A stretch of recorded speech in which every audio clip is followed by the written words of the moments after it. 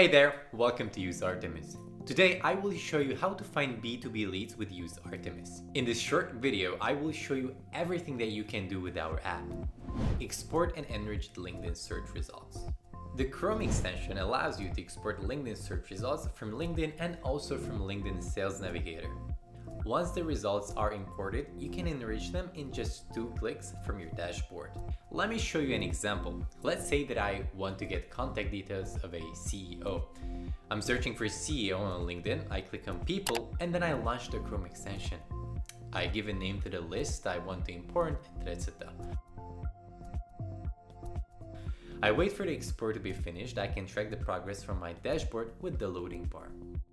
Once the import is finished, I can find it from the tab menu and export leads. And now I can enrich this list with emails and phone numbers by clicking on enrich. I give a name to the enriched list and I wait for the process to be finished. Once it's done, I can find my leads from the Leads tab. Email Finder for LinkedIn profiles.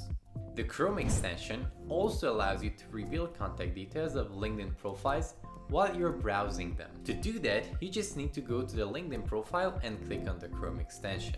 Very simple. Domain search. Use Artemis can scrape emails behind a domain name. To do that, you can use our tool called Domain Search. You can find it on your dashboard under Domain Search. Here you can simply type a domain name and you will get the email addresses of people working on this website. It's really useful if you're working in the SEO industry and want to reach out to bloggers, for example. There's also a tab, bulk domain search, that allows you to upload a CSV file with domain names to perform a bulk search. Prospecting platform.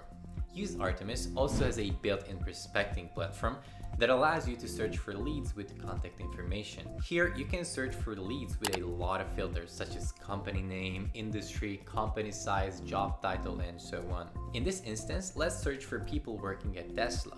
I type Tesla in the company name text field and then I click on search. And ta-da! Now I have contact details of everybody who works at Tesla. I can save those leads to my existing list or just create a new one by just clicking on reveal and save. Bulk enrichment. The bulk enrichment is a tool that allows you to enrich a CSV file with emails and phone numbers. Here is how it's done. I will upload a file that contains leads with first names, last names, company names, and LinkedIn URLs. Then I give a name to my list. In this example, I will name it bulk enriched. Then I select the rows that correspond to first name, last name, and company name, LinkedIn is optional, so I won't use it in this example as I have already enough information provided. Then I click on Start Enrichment. And again, once the process is over, the list of leads will be available in the Leads menu. Email Verifier. The email verifier allows you to verify if an email exists or not. It's really useful to prevent your email from landing in the spam folder. Here I can type in an email address and then click on check validity to check whether or not the email is valid. You can also perform email verification in bulk directly from your list of leads. For example, I can go to the list bulk enriched that I created earlier and I click on verify list. Really easy. It may take a few minutes depending on the size of your list, but it's usually very quick.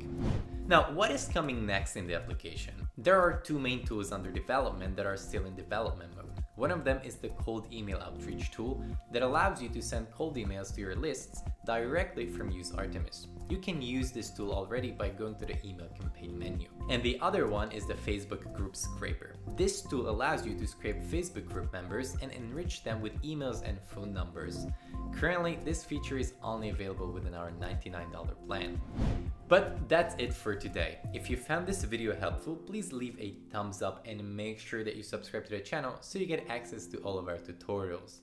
Thank you so much for watching. Until next time.